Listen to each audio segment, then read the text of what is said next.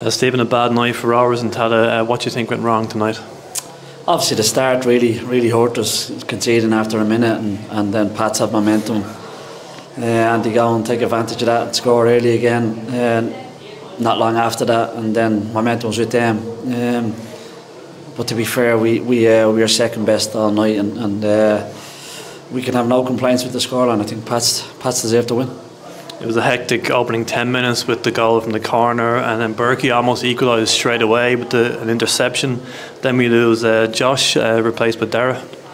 Yeah, it was. Like I said, it was, it was a bit of a crazy start. They scored at the minute. Uh, we have a chance with Graham to defend and makes a great block. Uh, Josh goes off, and then they score. And, and uh, look, momentum's with them at that point. But like I said, was, we, we were off it tonight. You could see we were a little bit tired. We were off it tonight, and uh, we were just second best tonight their front three caused a lot of problems. Melia in particular. Uh, Riley gets two goals. What do you think they did well that we didn't deal with? Oh, we played into their hands. Like I said, it's it's it's an easy one for them when they have momentum. They score after the first corner a minute into the game, so um, they have that momentum. Um, and then, like I said, uh, you know they're very good in transition with the front three. Um, and, and, we played into that. The decisions we made in our when we were attacking the final third really cost us in, in transition, and you can't do that against a good, a good transition team, and we did that. Did start well in the second half, but the third goal was obviously the killer at that stage. Yeah, we we uh, started well. Graham has a couple of shots. If one then goes in at two one, you, you fancy us to get something from the game. Uh, but then again, we uh, we make a poor decision in, in uh, our attacking third and it ends up in the back of our net, and, and uh, that's not like us. Uh, tonight it was, and and uh, like I said, we were just off it tonight from, from the first whistle to the last, and and sometimes that happens. We've had a, a busy few weeks, a lot of big games, and, and sometimes that happens. Johnny or Jack didn't feature tonight. They were both on the bench. Was that with an eye on next week with the schedule, or was any injury issue involved?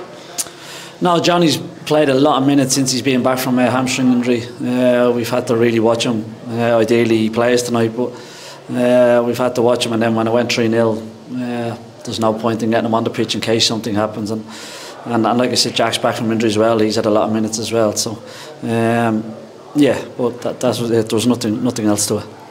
As for the title race, it's not over till it's over. Can you see more twists and turns in this? Well, I think there's only one point difference, is it, after today's games than there was before. So not much has changed in that regard. Um, it's still all to play for. Um, and look, we have to understand what happened tonight, regroup, get ready for Thursday, get ready for Sunday, and we go again, and we, and we keep fighting until the final, till the final day, and let's see where it takes us. And we shift our attention to APOEL on Thursday. It should be a big occasion, our first group stage game. Yeah, it will be. I'm sure we'll get a good crowd we're against a very good team. Uh, European football, we know it's it's a really good level, and, and we know we got to be a lot better than what we were tonight. Um, if we want to go and uh, get something from the game, and, and obviously we'll uh, we'll have a look at that Monday, Tuesday, Wednesday, and get ready for a big game on Thursday. Thanks, Steve. Thank you.